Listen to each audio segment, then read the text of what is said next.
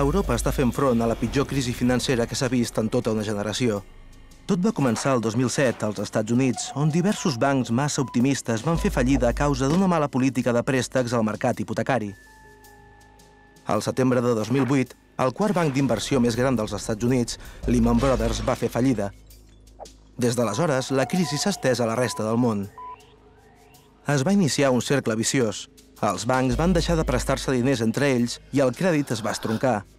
Per tal d'evitar un col·lapse complet del sistema bancari, els governs europeus van decidir rescatar els seus bancs de forma urgent i a una escala sense precedents. Entre el 2008 i el 2011 es van lliurar 4,5 bilions d'euros, l'equivalent al 37% del PIB anual de la UE. La UE també va posar en marxa un programa europeu de recuperació per promoure l'ocupació, garantir els nivells de protecció social i incentivar la inversió econòmica. D'aquesta manera es va evitar el pànic bancari i els estalvis europeus van quedar fora de perill.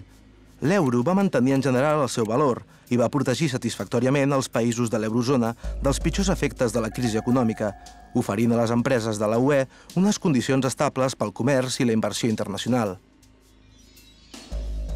Però aquest esforç va tenir un preu, sobretot tenint en compte que la major part dels diners es van haver de demanar prestats. Des de finals del 2009, els països més desprotegits de l'eurozona van començar a tenir problemes per finançar els seus deutes. Aquesta situació va originar un front nou en la crisi, la crisi del deute sobirà. Davant unes xifres de dèficit cada cop més altes i uns nivells de deute que augmentaven progressivament, els mercats van perdre la confiança en la capacitat de certs governs de tornar al que devien. Els tipus d'interès dels bons d'aquests estats van esdevenir ràpidament insostenibles i atès que molts d'aquests bons estaven en possessió d'altres països europeus i dels seus bancs, aquesta situació es va convertir en un problema per tothom. Això va ser especialment cert en aquells països que compartien l'euro com a moneda. Aquesta pèrdua de confiança va fer que els bancs reduïssin els préstecs a les empreses i als particulars. El 2009, l'economia de la UE va patir la pitjor recessió des de la seva creació. Després d'una breu recuperació, va entrar de nou en una recessió lleu a principis del 2012. A conseqüència d'això, l'atur ha arribat a nivells sense precedents a molts llocs d'Europa i està originant moltes dificultats als ciutadans, a més de disparar el nivell de pobresa. Així doncs, això vol dir que l'euro va empitjorar la crisi? No, no tots els països de l'eurozona han acumulat deutes excessius i no tots els països fora de l'eurozona han mantingut el seu deute sota control.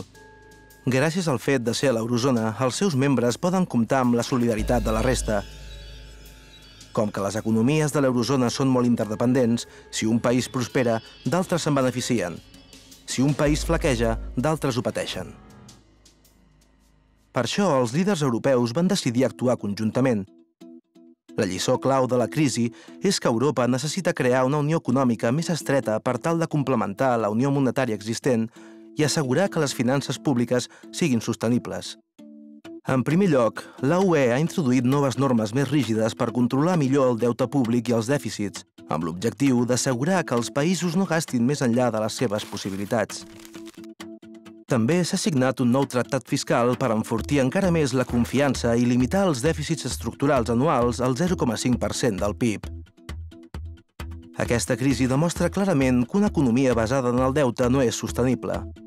La Comissió Europea s'assegurarà ara que els límits de deute i de dèficit siguin respectats i que els pressupostos nacionals no posin en risc les altres economies europees. Aquest és l'objectiu de la Unió Fiscal. En segon lloc, s'està reforçant la supervisió financera europea per assegurar que els bancs estiguin més ben capitalitzats, que actuïn amb responsabilitat i que puguin prestar diners a particulars i empreses. Aquesta mesura prepara el camí cap a una unió bancària que asseguri que els dipòsits dels inversors estiguin protegits i que els contribuents no es vegin forçats a pagar per la insolvència dels bancs. En tercer lloc, s'està reforçant mesures de contenció per protegir la moneda única a través del mecanisme europeu d'estabilització, un fons que ajudarà els països de l'eurozona que temporalment no poden demanar diners prestats als mercats financers o que necessiten suport per tornar a capitalitzar els seus bancs febles. Els préstecs es concediran si els països acorden reformar les seves economies i recuperar la seva estabilitat financera. I en quart lloc, la Unió Europea treballarà per aconseguir els objectius de l'estratègia Europa 2020, implementant reformes estructurals per explotar el potencial laboral d'Europa i augmentar la productivitat i la competitivitat. Això implica fer inversions dirigides a objectius molt concrets, utilitzant els fons nacionals i de la UE per donar suport a la recerca d'avantguarda, per estendre la innovació i les tecnologies més avançades, per connectar les xarxes de transport i de subministrament energètic d'Europa i per portar internet d'alta velocitat a tots els europeus, visquin on visquin.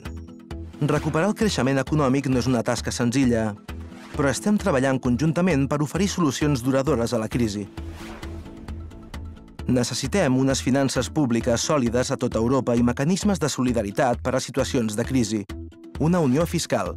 Necessitem una supervisió dels mercats financers més rígida, una unió bancària. Necessitem una unió econòmica més profunda, amb inversions dirigides a objectius molt concrets per augmentar el creixement i la competitivitat. La Unió Europea és un projecte de les persones, ancorat en la democràcia i responsable davant els electors ha d'emergir d'aquesta crisi més forta i més unida que mai.